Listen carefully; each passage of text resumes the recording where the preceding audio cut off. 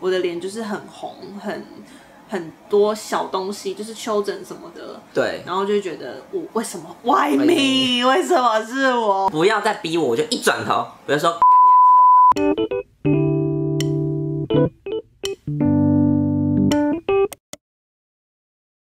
Hello，大家好，我是 Cindy，今天特别邀请到一个特别来宾 It's me. 呀，身旁的这位。听望，呀，我们掌声欢迎。嗨，大家好，我是王晶。对，如果你们不知道他是谁的话，他其实常蛮常出现在我的频道的，我觉得常驻吧，因为你应该至少出现过三次吧，就是正式的那种影片，我不是说 vlog 哦，哦就是正式的话，你大概出现过三次。至少。至少，然后其他 vlog 什么的就还有一堆，对，就是。所以我相。信大家应该也是蛮了解的。哎、上次去二手拍，还有人认出我。真的假的？有啊，你说他直接知道说你是王晶这样就是那时候我不是帮你们拍照嘛，对然后拍完他就说：“请问我可以跟你拍照吗？Oh my god！我说又红了，我吗？他说对，我说你知道我是谁？他说你是王晶。好厉害哦！因为我之前开 Q&A 的时候，其实很多人会问我的问题，就是说他要上大学了，或者是说他上大学，可是他对大学生活其实是有非常多疑惑或者是紧张的。对，然后他可能会不知道说，哦，上大学的第一天要怎么办，或者是说他不知道，甚至他念完大学他也不知道怎么办。你说我吧，对，所以我觉得这个经验好像跟我们就是也蛮符合的。因为如果你们不知道的话，我们其实是念世新广电电影组的，对就我们是同班同学。是的，那我现在是在做 YouTuber 嘛，那你现在就是前阵子刚从打工度假那边回来，因为疫情的关系，对，所以我们就开了一个 Q&A，然后就收集大家的一些问题，然后说可以来好好的回答大家。下大家对对对，不然我们先从这一题开始好了。这很像开头。这个当开头，就是他问说，想知道两位大学时期最难忘的回忆。我对你最深的回忆哦，我觉得应该算是一开始开学的时候，然后大家常会一起约吃饭。那那时候要讲候早餐，不是不是不是哦然后那时候 Cindy 就有一个干姐，嗯，她是有在做那个呃外卖的吗？就是他那个叫什么算是在做小吃，但是她可以送外送这样子。对对对，她就是小吃店这样子。哎、那个年代还没有付 Panda 跟 Uber Eats 没有，都是要打电话，然后满多少钱才可以外送。对，然后呢，那时候他就是说，哎、我要跟就是我干姐订，有没有人一起订？然后本来就是可能少少的五个人这样，然后后来好像有几有常会订到十几个人，因为大家就是无聊不知道要吃什么的话，嗯就一起订。嗯然后那时候订，因为我本人就是你知道数学小天才，不好意思，我本人现在有点饿，是不是可以先 先可以开始吃先一些东西？对对对对。我哎、对你是学测还是只考进来的？学测我没有考职考，那你你数学几几分？你还记得？我其实忘记应该十吧，其实没有到很好。但是我是哎、所以那时候呢，就是我在帮大家收钱，就是他每次可能十个人订完，就是他来五六七百百的块钱，然后我就来帮大家收集钱，然后就说，哎、那这钱，然后你再给你干姐这样子。嗯，我印象最深刻就是我们刚开始认识的时候，是因为这样子，然后才变得比较熟。哦，真的哦、我是这样觉得啦，不知道您。好，那有一件就是我们两个印象都非常深刻的事情，那建议你们可以去 podcast 听，因为那个真的好好笑。嗯嗯嗯，但是我还记得我第一次看到你是你在小剧场的阶梯外面，就是不是有个阶梯，然后坐在那边，然后中午好像大家要去吃饭，然后我们那时候手机用的是 HTC，嗯。那你记得你跟我用同一台吗？白色那一台。对，Oh my god。对，然后那时候我看到你在那边划手机，就想说，这个人的手机居然跟我一样哎，因为你知道那个年代就是大家不会说都只有买 iPhone，可能有些人会买 HTC 啊、Samsung 啊什么什么什么什么的。对，那我就觉得好酷，就是我一定要跟这个人当朋友，因为我觉得我们眼光好像蛮接近的。真的还是假的？真的因为这样。对，然后所以那一天我好像就是找你谈谈，就说哎、你要不要跟我们一起去吃饭什么？真的还是假的啊、我记得那为什么我那时候一个人坐在那边啊？没朋友。我不知道，我忘记是我一个人坐在那边，但是我记得我第一次跟你讲话是因为我们两个都用 HTC 的手机。哇哦，哎，我不知道这件事，我真的不知道这件事。但我后来想起来，我们是用 HTC 这件事情。对，哦，那大家会不会很害怕，就上大学找不到朋友这件事啊？哎、还蛮多人的，因为我看 Q&A 也有人问说，就是希望可以给大一新生一些意见，因为要开学了，好紧张。但你本人那时候开学是有紧张吗？我其实蛮紧张的，真的假的？对，因为我高中是在桃园读的，然后来台北念书的时候，是我一个人在自己住在外面。嗯，对，所以我当时就是人生地不熟的概念嘛，嗯嗯嗯，所以一个人我会觉得蛮紧张的。嗯嗯，但是我觉得我好像是那种哎、越活越越活出自我的人。嗯对，可能是因为也认识很多朋友，然后朋友会给你带来一些自信跟力量，所以我觉得上大学建议，我觉得说就是多交朋友，不要去害怕，就是自己可能没有自信或什么这样。我觉得多交朋友真的会给你带来很多帮助。因为你大一真的不是长现在这样，真的不是，因为你大一是戴眼，我记得你戴一个眼镜，嗯，黑框眼镜还是什么的，就是比较扁的那一种。你还 不要回忆，不要，我没有没有照片给你放，照片全部封没有，存了。绝不封，因为我跟你讲，这一题可以延伸到有一个人问说，最近去看皮肤科，也被说是酒糟脸红红的痘疤也色素沉淀，要上大学好没自信面对新同学。我觉得你这个应该有非常多的感触可以。这就是我本人呢、对，因为王晶他大一的时候其实皮肤非常的不好，非常的不好。然后最严重是大二的时候，嗯。因为那时候我就是反正就是油皮，然后非常油，然后我就是很久以前有一有一次吃抗生素的药，然后对身体有一个就是不好的反应，嗯，所以后来我就很抗拒吃皮肤科的药，嗯，因为抗生素就让我觉得好像是很不好的东西，嗯嗯嗯，然后我就那时候一直不吃药，以为可以靠自己的力量去呃战胜皮肤的问题，对，就那时候就越来越严重，到那时候严重到就是。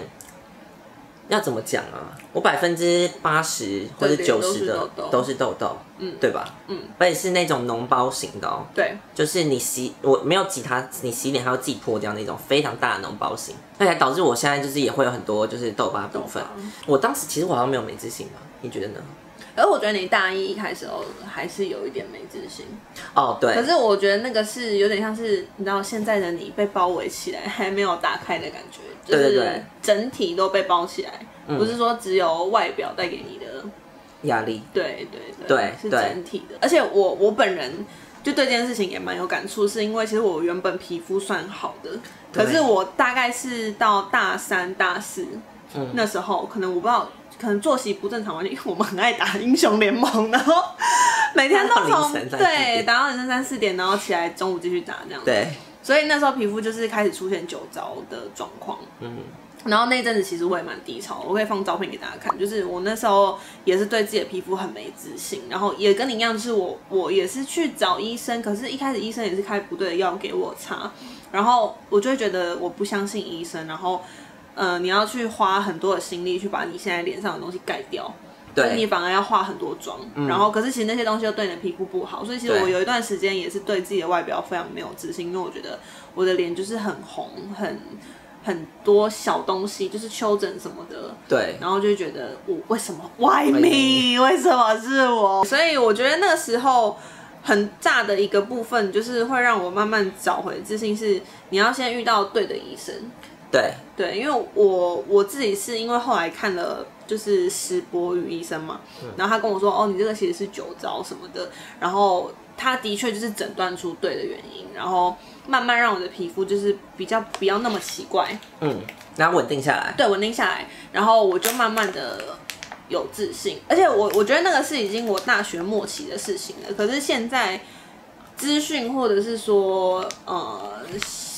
大家吸收的东西应该比我那个时候还是更还多对，对那我觉得你就是这位朋友，他在大一之前就可以先确认自己是酒糟，对这件事情其实是蛮重要的。还不错对，已经是已经是一件好事了，因为表示你有一个方向可以去治疗它。对，因为像我那时候是真的完全没方向，我相信你那时候应该也完全没方向，很迷失，就想说到底怎么办？每个人都很担心这件事情，可是你没有解决它的办法。对你是没有方法，但现在毕竟你已经诊断出你大概是怎么样，你有一个方法可以去治疗它。对还有很多影片也是大概在讲这些东西的。对所以我觉得你可以就是诊断这部分、治疗部分可以去呃去看一下，找一下资料。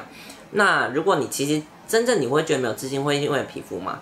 可是我必须要讲，其实你个性好，或是你的，我觉得是人缘个性更重要。对像我皮肤那时候那么差，但我还是 真的啊、我还是交得到朋友。对就是人不会真的只看你的外表。嗯嗯嗯，如果就是他们会看到你哦，其实你这个人个性很好，这个人很好笑，那当然会就是忽略掉，因为其实外表也不是多重要的事，对对对对，又不是要跟你干嘛干嘛。干嘛。所以我觉得其实你如果对于皮肤这部分没有自信，就去看医生嘛。对那个性我觉得还是更重要的。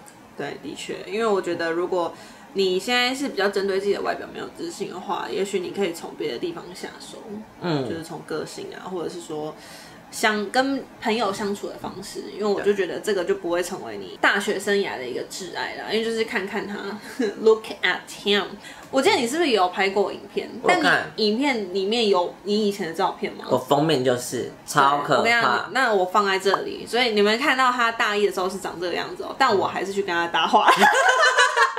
你看，因为手机 对，所以其实 it doesn't matter，it doesn't matter，真的那不重要，真的不重要真的相信你可以就是找到好朋友的。对度过你的大学生活。想问新弟上大学有没有遇到适应不良的地方？你有吗？我个人好像还好哎、我也还好哎，会不会是我们个性本来就是比较随遇而安。随遇而安，然后比较 social 的个性？但其实我不是那种会特哦，我觉得我不会特别跟陌生人 social，就是我觉得大家很一直很在意一个点，就是说哦，我要赶快交到朋友。可是其实我觉得这个东西是需要一点时间去观察的，嗯嗯，就是你不是真的你。第一时间交到的朋友，就会是你可能大学最好的朋友对最好的朋友。然后我觉得这个是你需要时间去观察说哦，到底谁跟你的痛比较合，嗯嗯嗯，对，有些有时候也不不一定是那个人或者是你的问题，就只是单纯你们没有办法很好的相处。可是你要花点时间去找到这个会相处的人，然后我才会去愿意跟他 social。对，我也不会说一开始就找到陌生人跟他 social。嗯，你要先去观察，对你要交朋友之前，你可以先观察这个人。而且我最近看了一句话，就是说，呃，别人怎么对他自己，就会怎么样对待别人。嗯，就你可以看这个人，他可能外表打扮都是，对哎，你觉得很不错，你觉得会喜欢的话，说不定对他，如果你跟他交朋友，他应该也会以相同的方式对待你。所以我觉得这是一个观察的小技巧。对，所以我好像真的没有什么适应不良的地方。哦，我知道了，你可能是外宿吧？啊，对，外宿。我当时一上大学是我第一次一个人住在外面，嗯嗯，然后其实当时还蛮适应不良的，而且我当时你知道多可怕，就是我在那个家大概就大学四年哦，我没有扫过地，所以我家地超可怕。我现在有扫很多，我一个礼拜至少扫一次。你是想要干？每次去你家？我跟你讲，我大学时期，因为我真的不知道我一个人在外面住，所以然后那时候就可能又懒惰什么之类，所以我根本扫地都没有扫。可是后来我就知道之后出国，然后有一些其他的见解之后，知道哦，其实打扫环境也是很重要的事情。对，对，所以我当时比较不适应是想一个人住，而且 我突然想到了，我一开始自己搬进那个家，我每天晚上我会把全部家里，呃不，我不会哭，我没我不会哭这种事情。我每天会把家里所有窗户锁起来，因为我怕有小偷闯进来。嗯对，就是自己会移成衣柜什么之类的。嗯，殊不知我家那贫民窟根本没有 什么贫民窟哎、你那房子什么卖成交价多少？一千三。之类的。对啊，我可是就是其实，可是那个以整个台北来讲，算是比较不繁华的边界的地方啊。可是我当时就是刚自己一个人，因为那时候才十八岁，其实还是很害怕啦。对，我觉得可能外宿，就是如果你是要外宿的朋友，嗯，然后没有室友一个人的话，可能这个部分真的是需要自己好好适应一下。我我毕业之后是继续从事影像相关类嘛，就是我一开始是先进入剧组，然后现在当 YouTuber，就还算是跟电影系有一点关系，算是吧。但是你是完全无关，对不对？我基本上就是拍片这件事，我大概大三就结束了，因为我大四是做那个 B 展小组，是筹划筹备的计划的那个组别，所以我基本上没有在碰拍片这件事情了。嗯，因为我觉得大学这件事让我自己有摸索厘清，其实一大一到大三，我有摸索到，其实我不喜欢拍片，我不适合拍片这件事情。嗯嗯嗯，对，那我大四的时候选择那有其他方式来毕业就好了，所以才会导致说我毕业之后完全不碰相关事，因为我已经知道了，我觉得大学这这几年就让我知道我不喜欢这件事情，那我就是要去去探索我可能喜欢的事情。我觉得我现在还在探索阶段啊，嗯，对啊，你会你会后悔吗？就是你会后悔说啊，我我四年来就念了一个最后我好像用不到的东西。我觉得我会，我我有后悔过，嗯但是我也很庆幸说还好我有走过这一次这一趟。嗯，对对，因为不然我可能会对这件事情抱有一个幻想，说哦，真的你还是觉得自己很适合，可是你没有试过，你不知道自己到底适适不适合。对，对，所以我觉得大学你真的不用去很 care 说哦，我我学到一个我不喜欢的东西，你可以继续教。我学到一个我很不喜欢的东西，然后我就觉得哦浪费了时间。但其实我觉得你学到是最重要的是经验，你至少知道这件事情是你不喜欢，那你之后你可以不用再尝试了。对对，不然你有时候可能对一件事情抱有很大的期待，结果你真的去做的时候发现，哎，好像不是我想真的想做的事情。因为很多观众其实也都会问我这样子的问题，就是他们可能会对自己的未来感到很迷惘，就说他不知道说他念现在这个科系以后会不会有出路，或者是说以后工作会不会运用到。但其实你知道，我们我们系上有很多人现在都不是从事影像相关类的人，我觉得至少七成以上不是。对，其实都不是。可是我我个人认为，就算我今天不是呃会走这个路线的工作，我还是会很庆幸说，我交到一群好朋友，或者是说我很庆幸说，哦，呃，这段旅程还是有带给我一定程度上的成长。对，因为你在什么样的地方会有不同的人嘛，就是不同的人事物会遇到不同的人事物。那我至少觉得在这段期间内，就算我自己觉得我学电影并没有学得很专精，就是我没有说哦真的很懂电影是什么什么什么什么什么什么，但是我觉得至少交这群朋友是我很开心的一件事情。嗯，真的，我觉得遇到人会其实对你的成长更大，不是说你真的在所所学上面真的需要什么成就。对，对，其实。教学相长吗？是这样讲吗？我不知道。反正我觉得跟人的互动之间，会让你其实有很大的进步，也是有的。这个就可以讲到说，其实王晶他之后毕业是直接选择去打工度假。对，你那时候是几岁？二十三，就是大学一毕业，还要等当兵，等完当兵，对，可能当完兵大概结束两个两三个月，我就出我就出国了。那因为有一个有一个观众问说，他问。打工度假这个决定是冲动比较多，还是考虑很久才行事？那这样听起来，其实你算是冲动，超冲动啊！我因为我从像我们大学，我们没聊，我们完全没有聊过说我想去打工。对，完全我完全不知道，我是突然莫名其妙有一天，然后就说，哎，要去帮王晶送机，就是我知道你要去，可是我不知道说来的这么快。对，然后大学也真的完全没有迹象，就他从来没有，他在大学的这四年当中从来没有提过说什么我想要去法国，对，或是打工度假，完全没有，完全没有，他就去了。因为我真的没有这个想法，但我当时真的是觉得说，我毕业了，那我想要这么快就进入职场工作吗？还是我也不想？但我当时的想法就是说，嗯，反正我刚现在刚毕业，我没有工作，我也没有要直接找工作的话。那我何不就出去出国去看看？嗯，这不一样的世界会怎么样？嗯，那我觉得我很庆幸说我去了，就是去了之后，我觉得我的人生得到很多。因为蛮多人会一直觉得说，打工度假是不是有一个年龄的限制，或者就是说你打工度假完是不是会跟其他的同学慢了好几步，或者是说其他人都已经在职场了，那你你你回来可能还是一个没有经验的感觉。对对对对对对对。所以就这是一个蛮多人疑问的点，就至少有两三个问题都是在问这个。那你自己觉得有差别吗？就是你这样回来，可是其实目前算是有点像被迫，因为疫情回来。嗯，不然我应该还要在其他国家。对对，我觉得没有一定，但是我这个人的个性，我我现在我做完会觉得说越早越好。我啦，嗯，因为我其实在国外，我看到很多人是十八岁，德国人、荷兰人，他们是他们真的是十八岁就已经。出国了，他们就是高中毕业，大学还没之前，他就说那我们要先出国一年。嗯，就是有点像 gap year 的概念。gap year 的概念，国外其实这个观念好像蛮普遍的。对，非非常普遍。他们根本就是就是他们觉得多去看其他世界是比呃去什么职场工作、念书什么之类的更好的一个经验。我自己也是这样觉得。而且我常常在国外跟一些外国朋友分享，很多外国朋友给我的回馈是说，我真的好希望我年轻的时候跟你一样。嗯，因为我现在已经老了，然后。虽然我现在钱很多，因为我有工作什么，我工了好久，我钱赚了很多，可是没有勇气的。我没有勇气，我没有精力。嗯，我因为我现在四五十岁，我现在出国玩，我不能，我不像你一样二十几岁可以玩到二十几岁可以玩到的东西。我二十几岁每天都是在上班加班忙工作的事情，焦头烂额。那我失去了很多我的青春在这个上面。他说：“现在我四十几岁，你觉得我去 club 适合？去就算去，我可能跳了两分钟，我觉得好累，我就想回家了。”他说：“我很羡慕你，二十几岁就可以出来，然后到处体验不同地方的风土民情、文化、人生。”他说：“我真的很希望我是像你这样子。”他说：“就算我当时没钱，但至少我有这个很好的经验、美好的经验以及回忆。”我觉得这有点像是你怎么看待你整个人生的时间轴的感觉。对，因为如果你。只专注在眼前这个阶段，要不要跟其他人一样的话，其实你很难去做到跟别人不一样这件事情。因为每个人可能一生就是活大概我不知道八十岁，对那你希望你的每个阶段是什么样子的？对那如果你真的很在乎，说你真的这个，嗯、最年轻的阶段，你要跟大家一样去工作去干嘛？可是可能你真的到你退休的五六十岁的时候，你坐飞机也坐不动，然后你出去玩也出出出去不了。然后可能还有很多很多因素，你回过头来看，你可能会觉得啊，你浪费了你最青春、最年华的那个时候。对。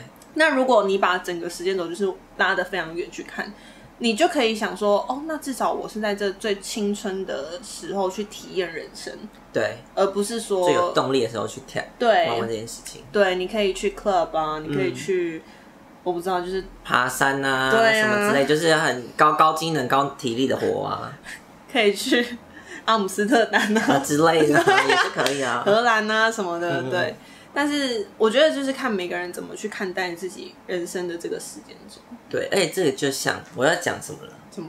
这就像打传说一样，你一开始会觉得说，哦，我在这里，我前面好像输掉人家一大截，嗯嗯，然后可是你最后打赢了这场游戏，嗯就像你说，你你打传说其实领悟到一个道理，嗯所有东西都要看长远的，不能看近期的，对对不对？嗯，所以你可能觉得说，哦，我现在近期我输掉我朋友，我朋友的薪水都比我高很多，他们有好多今年的的经验，但是你没有走到人生最后一步，你怎么知道会知道？谁比较厉害，谁赢谁输？真的。对，所以我觉得还是看你自己啦。因为如果你真的是很在意他人眼光，或者是你很在意你自己很独特的话，可能你真的没有办法在这个年纪做这样的事情。对可如果你就是想要活得非常精彩，活出自我的话，其实是非常鼓励大家越年轻去越好。我我我自己是这样啦，我去了三年之后回来的感想目前是这样。然后我们刚刚就有买了一个，这个是多利多汁，但是它是什么口味芥啊？末酱哦芥末酱怪，我们就觉得它要不就是好吃，要不就是很难吃。你先闻一下，我闻不到任何芥末味。这是多利多汁的味道。对啊，这是多利多汁的味道啊。拍片哎、我们试试看好，我们一我们一起吃。成败。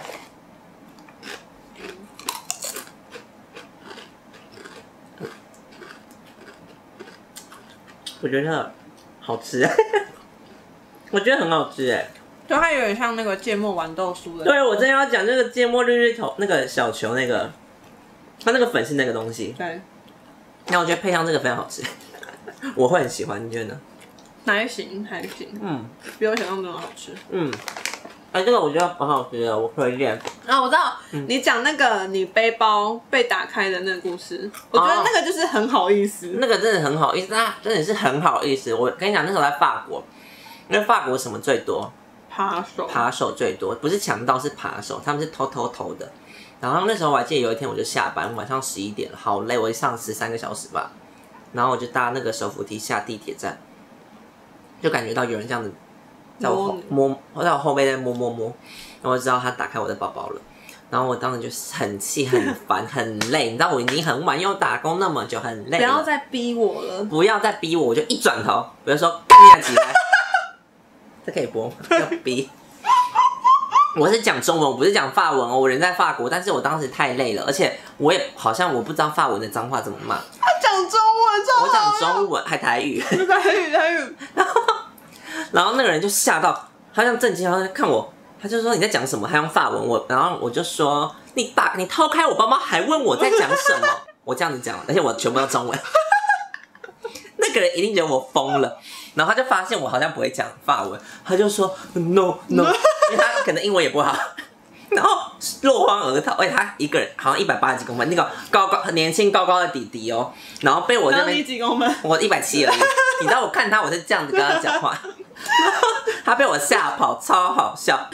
这个故事我真的，因为我这是他这次回来我才第一次听到的故事，然后我整个笑到不行哎、因为我觉得太经典，怎么会有人转过去然后跟着说？通常我不知道，因为在国外可能就会说 What are you doing 之类的，但他是直接讲就是脏话，而且是台语的脏话，我就觉得太棒了。对啊。而且重点是他对方也被他吓到，对，可是因为我当时敢这样做，是因为其实附近还是有其他的一些民众，因为是地铁站。但如果因为我听过有些人是在荒郊野呃啊比较郊区的地方，人旁边不多，然后如果你这么嗯凶。凶的话，你会被人家打，啊，然后而且是打完还抢你钱这样子。嗯，这还是要 depends 啊，对就是你还是要注意看一下其他呃附件状况，因为如果你真的置身在国外的话，你还是要去注意安全。注意安全，就是观察周遭，如果有人可以来帮你的话，因为那附近还有其他的民众嘛，就可以来帮你的话，你当然可以比较凶一点。那如果他真的要跟你怎么样的话，可能至少还会有人来。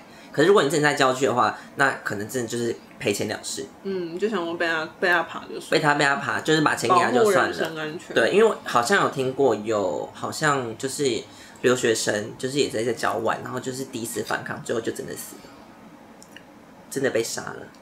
好可怕哦。对，反正我觉得在外面生活或者是在外面旅游，真的是其实要以自己的人身安全为最重要的。对，还是要小心。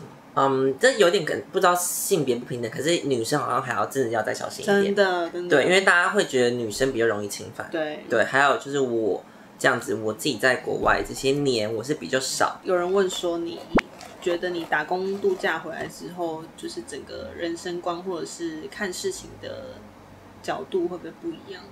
我觉得会，而且我觉得我就是成长变蛮多的。嗯，最重要的一点，我觉得是你会变得很独立。啊，对。对，就是因为毕竟你刚从刚刚讲说你大一从不会扫地这件事情到 到后来旅居海外，算是已经有大概三年。三年的经验。对，对，因为其实你独立的点是你一个人在国外，如果一个人去的话，你很多事情都要自己来，嗯譬如说找房子、嗯找工作，然后像一开始到你还要申请一个银行账户，那些事情全部都是要靠自己。嗯那你真的没有人可以帮你，嗯，因为没有人认识你，所以他们也不知道帮你什么这样子，所以很多事情就是你真的要开始学会自己来。那真的找完地方住之后，你要开始学会煮饭，因为你如果每一餐都在外面吃，你观光客当然可以这样，但如果你要长居在那，不可能每一餐都在外面吃，很贵。所以你要学会煮饭，学会打，因为打煮饭就要开始会打扫，打扫还要会洗衣服。Oh 你看就是全部事情真的都要自己来，就是你要有一个完整的地图，说你你你该做了什么事情，嗯你知道吗？就是你有一个完整的说，哦，我一个人做，所以我这些事情都是要我自己就是来完成。有一个 SOP 在啦。SOP 在，对，所以我觉得对我来讲最最大成长进步就是呃独立这件事情，还有解决问题的能力。嗯嗯，对，你在台湾你遇到问题的话，你的家人、你的朋友可以来帮你帮你忙，但你在国外你遇到问题，你就只能靠你自己。但我必须得说，现在真的很多小朋友没有独立解决自己问题的能力，对，就会发现他们遇到问题就会很慌张，嗯，然后他会想说玩完怎么办怎么办怎么办啊，一走了之啊，对，就是他不会真的去面对问题。就会放弃啊，算了算了算了。对，这个也可以讲一个小故事，嗯，就是你遇到问题的时候不能逃躲避，不能逃，因为他那个问题还会回来找你，你知道为什么？有一天我在家里看到一只蟑螂，它就不见了，嗯，我就想说啊，怎么办？打不到它，我很害怕，不知道怎么办。后来我想要算算找了一段时间找不到，我想要回房间。嗯，结果呢，我正开始准备要打传说的时候呢，听到那个声音，我想要惨了。了，那蟑螂从我那个门缝钻进来，然后就跑到我房间一个不知道什么地方。我真的这时候没有办法，就一定得面对了。然后我就在那边找找找找找找，它就从那个衣柜爬出来，然后我就开始在那边搏斗，砰砰砰，因为我只有一个人，你要独立度呃自己去面对这个问题，你不能说以为他跑走他就会结束了，不会他，还是会找回来的。好的，那我们真的非常感谢今天王晶就是来跟大家聊聊天，还有吃东西。对，还有吃东西。那最后你再跟大家宣传一下你们的 podcast。其实我们 podcast 我们一开始我开始要做之前，我就先跟他讲，就讨论这件事情。我说我希望你可以来当我们第十集的来宾。那为什么是第十集？因为我们觉得我们可能做不到第十集。如果我们真的有幸做到第十集，麻烦 可不可以邀请你来？然后一口答应。对，就我们还真的做到了第十集，只是最近好像有点小问题啦。大家如果想听到我跟 Cindy 我们的 podcast 的话，会是《金氏鸿门宴》第十集。好，那其他集你要不要大概讲一下？主要都在讲什么生活烂事？对，其实我们就讲了哦，我跟另外一个搭档叫李红，我们讲我们之前去澳洲的一些好笑的事情，然后李红的生呃职场上面烂事啊，然后还有在讲一些我们以前大学时期的一些好笑的事情，这样子，主要就是你可能健身或通勤无聊的时候就可以听一下的东西。对，好啦，那么今天影片就到这边。如果你喜欢的话，就帮我一个喜欢，然后记得订阅我的频道，每个礼拜都会有新的影片。大家拜拜，拜。